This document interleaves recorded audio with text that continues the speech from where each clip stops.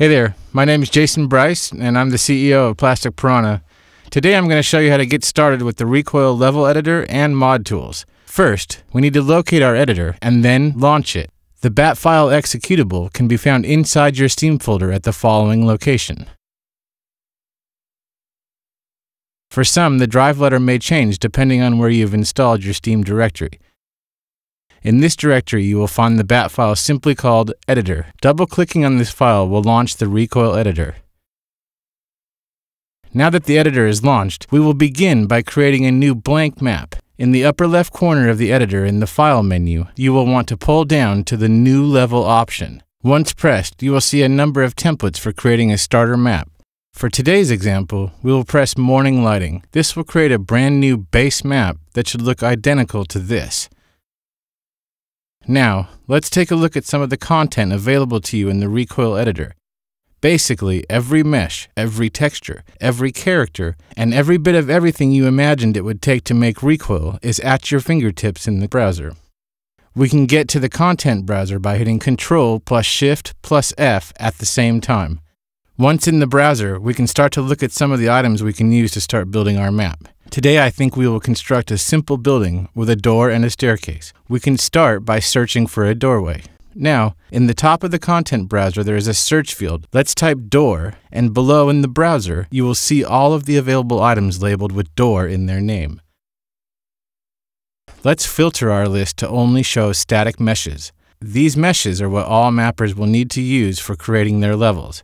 As a result, you will see all of the static meshes with door in their name.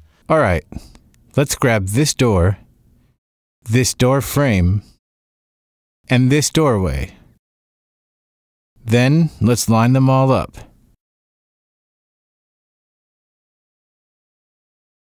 Let's now grab a wall by doing the same thing we did before. Type wall in the search field, and all of the walls in the build will be shown in the browser. Let's grab this wall and copy it a few times by holding down the Alt key and dragging to the desired location.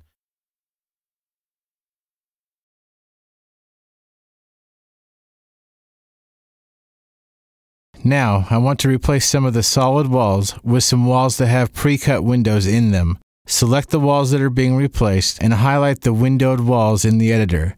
Then, right-click and hit Replace with the selected windowed walls. We also need a foundation and a roof. We can actually use the same item for both purposes in Rekoil. Type block in the search field, and all the meshes with the word block in the build will be shown in the browser. We will drag this onto the scene and start to lay our foundation. By using the Alt drag copy method we discussed earlier, we can lay out a floor rather quickly. Now we can make our roof. First select all of the block foundation pieces. Once selected, drag copy these up to our roof line.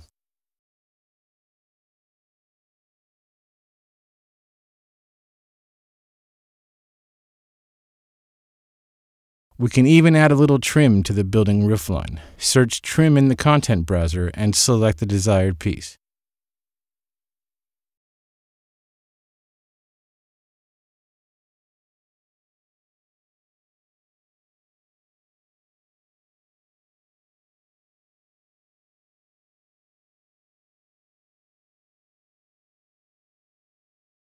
Let's also add some columns. And let's not forget about the staircase. I think we are now ready to start running around our new building. But first, we have to do one more very important step. In the content browser, there is a tab in the top left. Hit the tab titled Actor Classes. Then, in the search field, type R Player this is short for R player start, which is what Rekoil uses to tell the game that there's a spawn point at that location. Drag the R player start underscore DM onto the map where you wish the first player start to be. Next, let's right click in the level to play from here. So this is great, but you will notice the lighting needs a little bit of work. The default morning map comes with a dominant directional light that is a little bright, so let's tone that down a little bit. Select the light in the level and press F4 or right click and open Properties. In the Light Component section, change the brightness from 5 to 2. Then, in the upper left corner, there is a Build menu. Pull down to the Build Lighting tab and go through the desired options. Now go ahead and build the lighting. Alright, let's see the result.